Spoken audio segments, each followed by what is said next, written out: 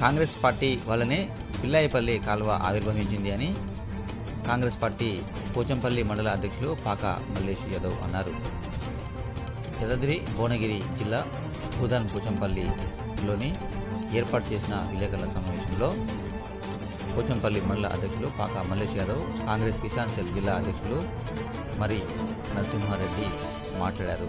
ఈ సందర్భంగా వారు మాట్లాడుతూ తెలంగాణలో ప్రభుత్వం రైతులకు చేసింది ఏమీ లేదు అని రైతాంగాన్ని దుప్పట్లో పెట్టుకొని ఇష్టానుసారం వారిని వా- వాడుకుంటున్నారని ఆవేదన వ్యక్తం చేశారు. కాంగ్రెస్ పార్టీ జిల్లా అధ్యక్షులు కుంభవాణి కుమారెడ్డి గత రెండున్నర సంవత్సరాల క్రితం పిల్లాయిపల్లి కాల్వ మీద పాదయాత్ర చేసి ఆనాడు క్రాప్ హాలిడే ఇస్తే క్రాప్ హాలిడే మీద మాట్లాడి జగత్పల్లి నుంచి పాదయాత్ర కనుముక్కల వరకు చేసి ఆనాడు కాల్వ మీద పోరాడి కుంభవాణి కుమార్ రెడ్డి శనివారం వచ్చి జగత్పల్లి నుంచి పెద్దరావులపల్లి వరకు తిరిగి టీఆర్ఎస్ నాయకులు మాట్లాడుతూ మీకు దారులు దొరకడం లేకపోతే మీకు కాలువ మీద ఏమి అవగాహన ఉంటుందని అన్నారు.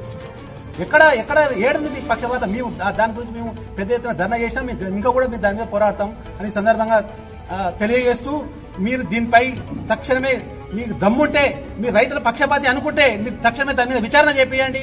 ఏ గ్రేడ్ అని అంటారు కదా A grade B grade A grade ఎంత వచ్చింది బి గ్రేడ్ ఎంత వచ్చింది. మొత్తం మీరు బి గ్రేడ్ గానే కొనుగోలు చేసి రైతులకు కోట రూపాయలు నష్టం చేశారు ఈ రోజు ఓన్లీ పోచంపల్లి మండలంలో ఈ నష్టం ఎక్కువ జరిగింది. వేరే జిల్లాలు ఎక్కడ లేదు అంతా ఏ గ్రేడ్ గానే చేశారు కాబట్టి దీని మీద విచారణ చేయాలి. దాని మీద మీకు రైతుల ఏపేట అంటురుగా మీరు రక్షణ పక్షపాతం అని. దాని మీద మీరు చేయి విచారణ చేయబట్టండి దాన్ని తక్షణమే ఏ గ్రేడ్గా దానికి డబ్బులు చెల్లించవలసిన ఈ సందర్భంగా డిమాండ్ చేస్తుంది ముఖ్య నాయకులందరినీ ముందట నిన్న టీఆర్ఎస్ మండల నాయకత్వం మొత్తం మా జిల్లా అధ్యక్షుడు కుమార్ కుమార్ రెడ్డి గారికి